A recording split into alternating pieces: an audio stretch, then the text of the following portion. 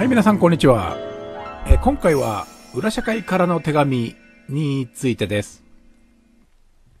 いつも動画をご覧いただきありがとうございます。私はこのチャンネルと Twitter、ブログにて真相追求活動を行っています。このような活動をしていると、いろいろな方から連絡があります。その中で裏社会からの連絡かもしれない内容があります。その場合はパターンが決まっています。そのうち1件について皆様にお知らせいたします。今回は動画にてお知らせしているウェブメールアドレスに届いたメールです。メールを送ってきた方はイギリスの方でアレクサンドル・ディランさんだそうです。佐伯真央様と出だしがあります。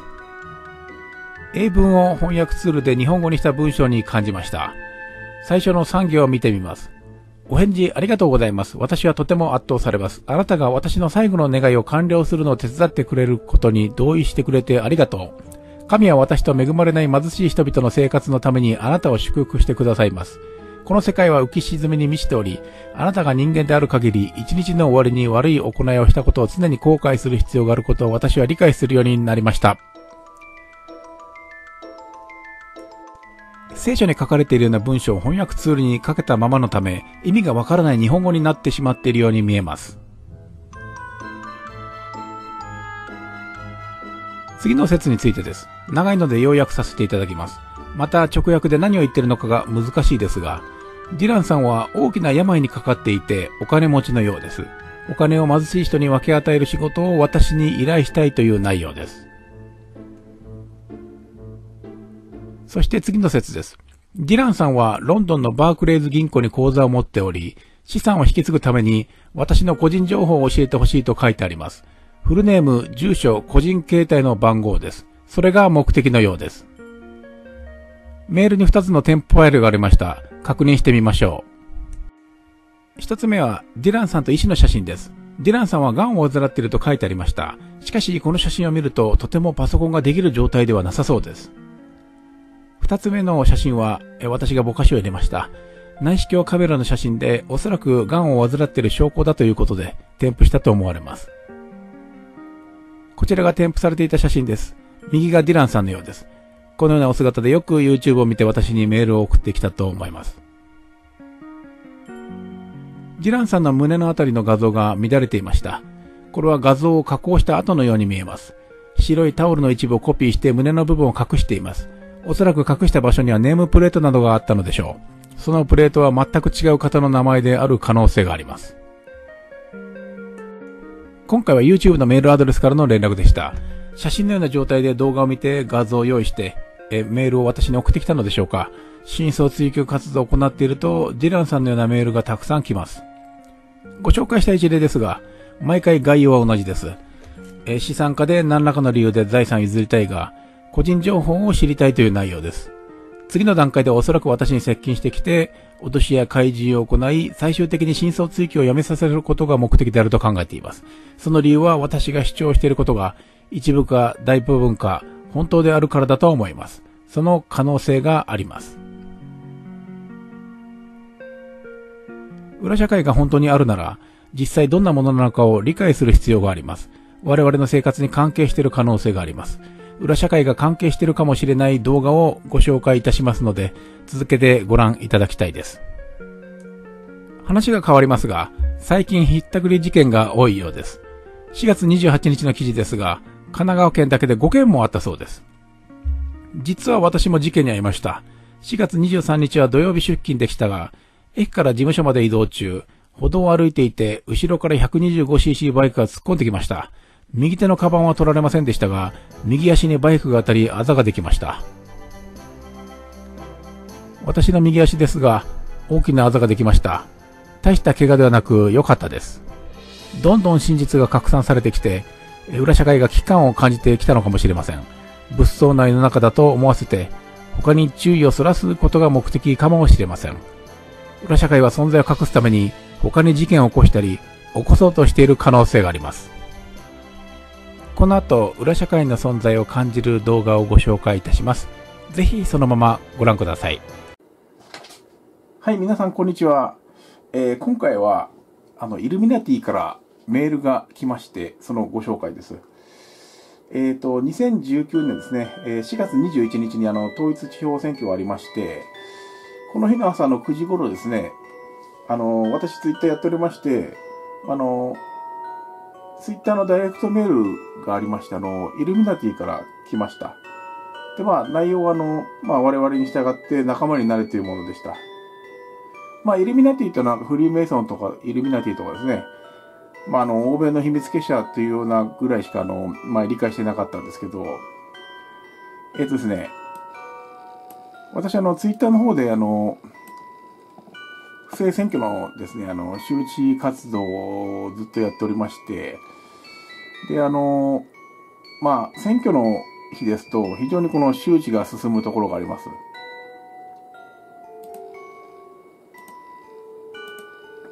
あの、これがですね、あの、統計ですね、あの、ツイートアクティビティという、いうことで、統計で、これあの、4月のですね、1ヶ月間の統計なんですけど、まあ、1ヶ月全体では225万4000、あ、に、えっ、ー、と、2450人の方に、えー、不正選挙のツイートを見ていただいたことになるんですけど、特にあの、ですね、4月は2回選挙がありまして、7日と、21日ですね。それぞれ1日だけでは20万人以上も、あの、まあ、見ていただいて、あの、やはり選挙当日ですので、えー、関心がありまして、あの、まあ、見ていただいたんですけど、この、21日の朝にですね、あの、メールがありまして、えー、っとですね、あの、私のこの、まあ、関心を非行動しているのは、まあ、この日、選挙の日に、不正選挙の周知活動をしてほしくないということです。まあ、それが分かりました。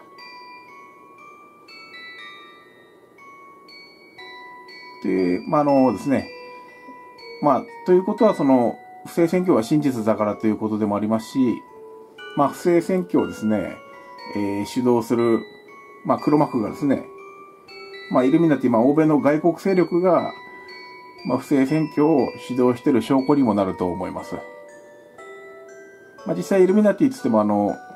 その下請けか、そのさらに下請けかわからないんですけど、少なくともその敵型ですね、であることがわかります。で、あの、この方のですね、ツイッターの宛先を今しら、あの、たどりますと、まあ、凍結されてまして、まあ、姿を消されてしまったんですが、まあ、当日4月21日の時にあの一応みなあのツイッターでも皆さんにご紹介させていただいたんですけどこのメールが来たと。一応このリンク先をあのまたこの、えー、動画にも貼りますので、まあ、あの参考までにあの貼らせていただきます。であの私あのツイッターの方でまあ、あの不正選挙の周知活動させていただいたんですけど、え2017年の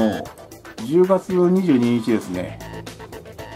あの解散、えーと、衆議院の選総選挙がありまして、その時にあの、まあ、たくさん反響いただきまして、ヤフーのニュースにも載りました。これあの、2017年10月25日、まあ、何日かかあの周知して、まあ、そこでちょっとあの、だいぶ拡散が進んだ時に、まあ、ちょっと話題が上がったということで。ただまあ、ぼかしが入ってて、ぼかし抜いて出してほしかったんですけど、でぼかしが入ってるのはこれですね。これをぼかし入れて、まあ、ヤフーのニュースで、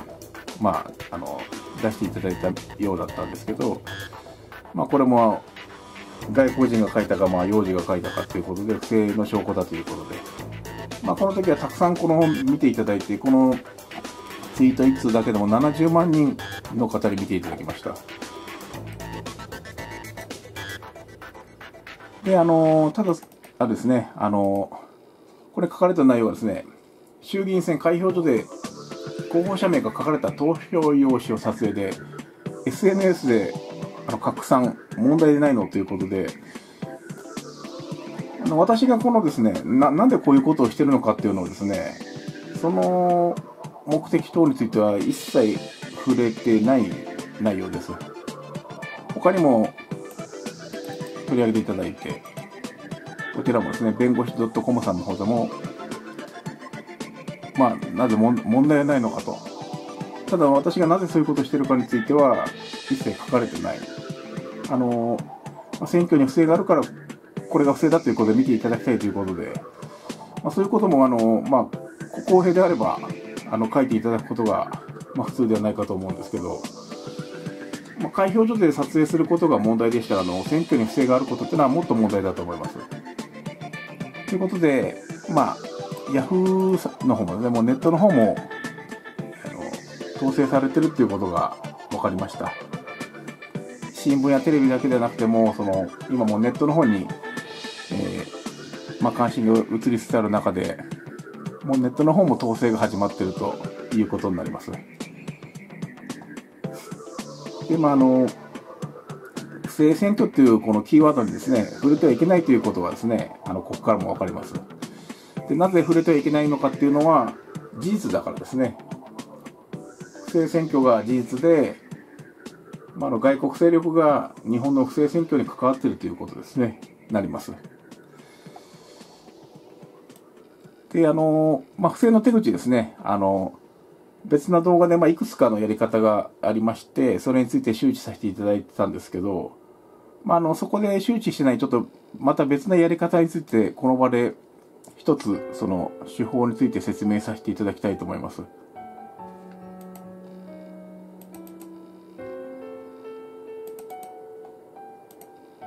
この私、あの、2016年のですね、参議院選挙の時に、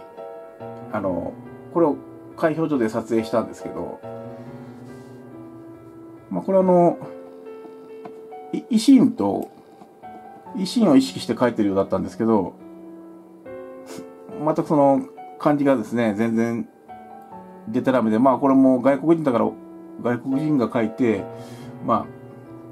あ、正しい形が分からなかったから書いたのかなとも思ったんですけど、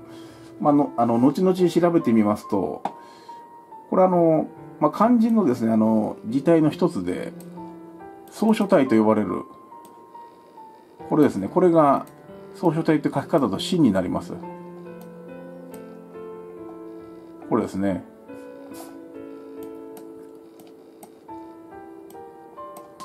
で、この書き方を、その草書体っていう書き方ですね、えー、これもあの、一つのやり方であることが分かりました。で、草書体を調べますと、早く、えっ、と、総書体は漢字の書体の一つということで、早く書く、書くことができるように、同じく漢字の、まあ、あの、行書体は異なり、自我の省略が大きく行われる。文字ごとに決まった独特の省略をするため、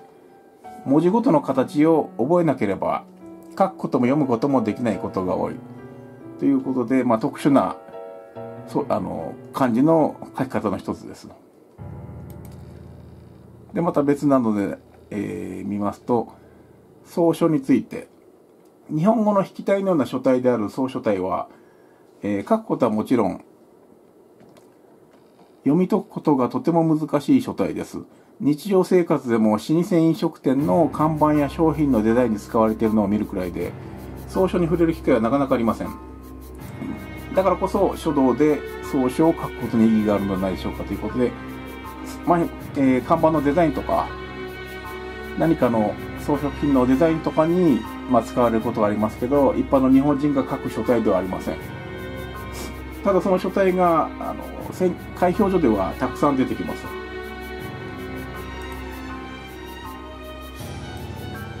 で、これは2016年の時、ちょっと初めて発見したこの総書体っていう、総書体なんですけど、えーとですね、次の2017年の7月2日の東京都議会選挙ですね。これありまして、これも読めなかったんですけど、調べてみますと、えっ、ー、と、総書体で、府人の、これですね、指すことが分かりました。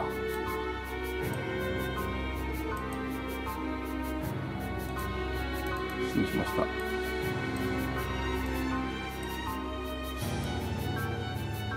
これですね。2017年の都議会選挙でもこれがたくさんありまして、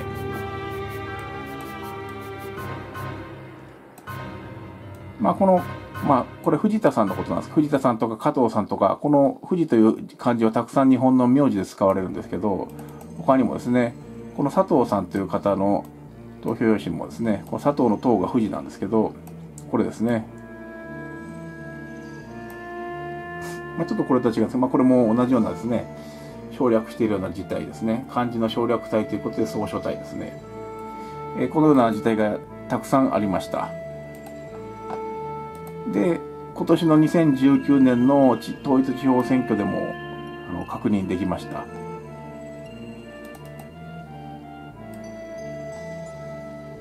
尾崎さんのですね、先が、総書体だとこれなるんですね。これですね。尾崎の先がこれで、また総書体がありまして、もうたくさん出てきます。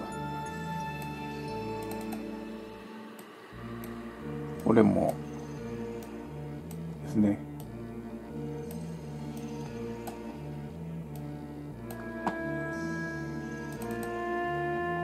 これもそうですね。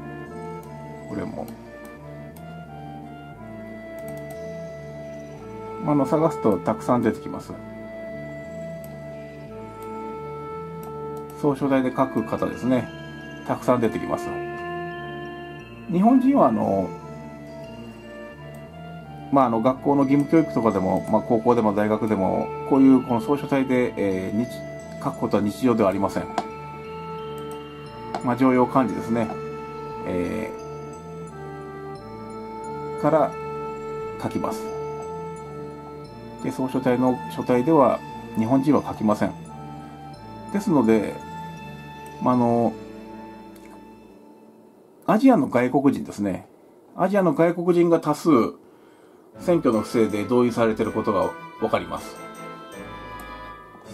漢字はあの、まあ、中国ですね。中国から周辺のアジアの国にどんどん伝わっていって、まあ、それぞれの国でまた独自の漢字の文化ができてきてるとこなんですけど、中国はあの、あの漢字がですね、4万9000ということで、中国で使う漢字は、また日本で使う漢字とまた全然違っておりまして、日本では常用漢字の2136字と、えー、そういうことで日本の文化は、えー、常用漢字を使います。で、あの、まあ、アジアの外国人を動員すればですね、漢字がわかるので、まあ、不正の表を書かせる、書くことが、まあ、できるのではないかということで、アジアの外国人をたくさん、えー、まあ、動員していると、まあ、推察しておりますが、まあ、漢字の、それぞれの文化ですね。そこまでは配慮が、まあ、あの、そこまでたどり着いてないと、えー、そういうところなんじゃないでしょうか。で、えー、まあ、探すとたくさんあるんですけど、あとはですね、これあの島の、島、島ですね。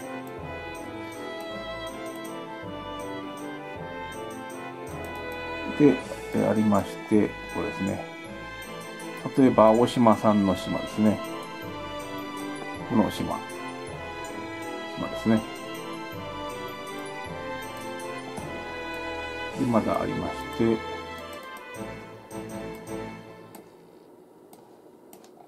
これですね。青島さん。最初分からなかった時は、これなんかひょうたんみたいな、何を書いてるか分からなかったんですけど、まあ、島の総書体ですね。でもこんな風に、我々日本人は、小中、まあ、義務教育で、まあ、その後高校も、えー、大学もこんな風に、えー、書くことを教わったことはありません。ないはずですので、で、まあ、日本の方ではないことがわかります。で、またですね、まあ、他にもたくさんあるんですけど、この、渡る手字ですね。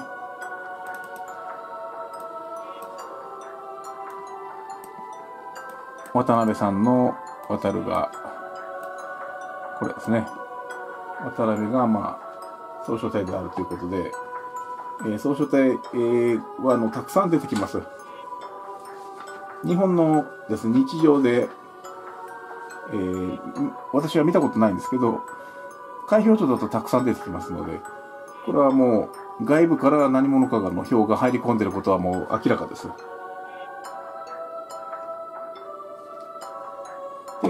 まあ、えっ、ー、と、4月の統一地方選挙でも、あの、これだけたくさん出てきましたので、7月のですね、あの、参議院選挙とかでもきっとあるはずです。あの、ぜひこの、皆様もあの、探してみてはいかがでしょうか。で、あの、まあ、あの、このですね、あの、総書体のやり方も不正選挙の一つということで、えー、まあ、紹介させていただきました。で、あの、またですね、消費税を、まあ、さらに10%に上げるなどと、えー、いろいろやっておるとこですけど、えー、ただその安倍政権ですね、選挙ではいつも対象しています。圧勝、圧勝してます。僅差ではなく圧勝です。例えばあの、我々がですね、あの、まあ、皆さんもですけど、消費税を廃止して0%になるということを聞いたら、まあどうでしょうか。え大変嬉しいはずです。しかしその真逆なことをですね、いつも行っているですね、安倍政権が選挙でなぜ勝つのかっていうのを、まあ、疑問に持つべきだと思います。でそういうところからも、まあ、不正の疑惑がえあります。で、あのー、今回は以上にいたします。えー、ありがとうございます。失礼しました。はい、皆さん、こんにちは。えー、今回は、えー、私の裁判が行われていた件、選挙を追及すると被告になるについてです。2021年令和3年10月31日は衆議院議員総選挙です。この選挙に関係あるかもしれない裁判についてお知らせいたします。私は YouTube の他に Twitter でも同様な活動をしています。Twitter 社からメールが届きました。Twitter ユーザー、ツイッターはあなたのツイッターアカウント、アットマーク、佐伯真央006に関する文書を受領しました。この文書によると、下記のコンテンツが日本の法律に反する可能性があるとのことですと、2つのアカ、えー、アドレスありまして、これは2つとも同じツイートです。私は複数同じツイートをすることがあります。当社の核となる価値観の一つは、ユーザーの声を擁護し尊重することです。したがって当社ではコンテンツの削除請求を受けた際、該当ユーザーへの通知を実施しています。当社が法的手続きについてあなたへ通知するのは、削除請求への対応をあなた自身が選択できるようにするためです。要求を遵守し、参照されたツイートを削除するかどうかをこのメールに返信する形でお知らせください。ツイッターには削除請求の対象となっているコンテンツへの対応を取る義務があることをご了承ください。私のツイートの一つが法律に触れる可能性があると言っておりました。また、添付ファイルがついていました。これが私のツイッターです。YouTube と同じく複数の分野で投稿していますが、不正選挙のツイートが問題になりました。このように怪しい投票用紙を具体的な証拠として不正選挙の可能性を主張しています。何枚かご紹介させていただきますが、これが印刷ミスである可能性がある表です。欄外に書かれています。普通はこんな風に書きません。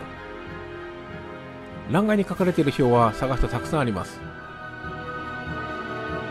これは4年前の衆議院議員総選挙の時の表です。こんな風に欄外に書きません。これも前回の衆議院議員総選挙の時ですが、日本語が書けていません。外国人が動員されている疑いです。2017年10月22日の選挙の後、外国人を多く受け入れる政策に転換しました。これも外国人が書いている疑いがあるようです。しかも上下逆に書いていると思われます。上下逆のこのように書いていたと思われます。神林とひらがなでチャレンジしたと考えられます。このような不正選挙の可能性に言及するツイートが法律に触れる恐れがあるとツイッター社から連絡がありました。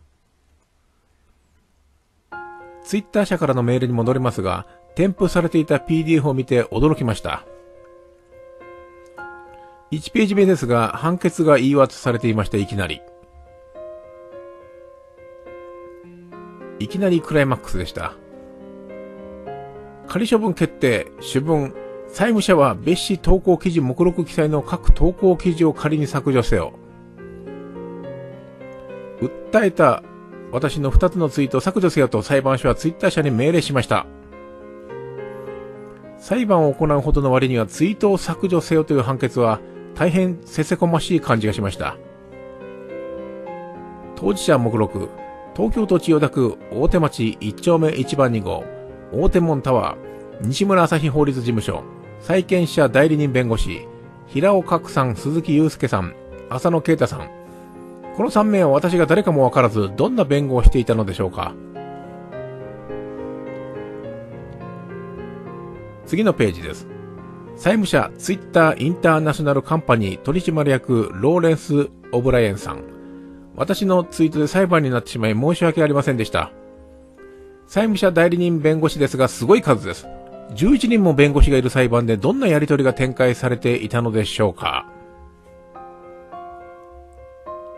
次のページですが、黒塗りが激しいところです。アカウント全体の URL はきっと私のアカウントのはずです。なぜ黒塗りなのかわかりませんが。また次のページです。同じく黒塗りで隠されています。私に送付したファイルですが、なぜ隠すんでしょうか最後のページです。令和2年3月31日、東京地方裁判所民事第9部裁判所書記官、萩原隆子さん。どのような裁判だったのかとても知りたいです。以上がツイッター社から送られてきたファイルの内容です。この PDF ファイルを希望される方は説明文にあるアドレスにメールいただければ、えー、返信して送付いたします。ツイッター社からこの件について連絡ありました。その後すぐに該当ツイートは2件削除しました。私のツイートは選挙の不正について可能性を示唆する内容です。こういうツイートが訴えられました。逆に不正選挙の可能性について裁判してはどうでしょうか今回の件は私に対する脅しの可能性も感じます。不正選挙に言及することは許されないのかもしれません。皆さんが公選に行われていると思ってきた選挙の開票所にあった票です。このような票はたくさんあって過去何何回も目撃しています。2021年10月31日の選挙ですが、以前から期日前投票を推奨してきました。しかしこの時はコロナ禍での密状態を口実にしています。その都度理由が変わるのは本当の理由ではない可能性があります。主な政党9つですが、今回の選挙ではぜひ10番目に不正選挙等があると認識しましょう。今回は以上になります。ネットではだいぶ前から不正選挙が言われています。しかしメディアでは絶対に出てきません。その違いはなぜなんでしょうか可能性があるのなら絶対に許されないことです。それに言及しないのは何らかの影響力が働いています。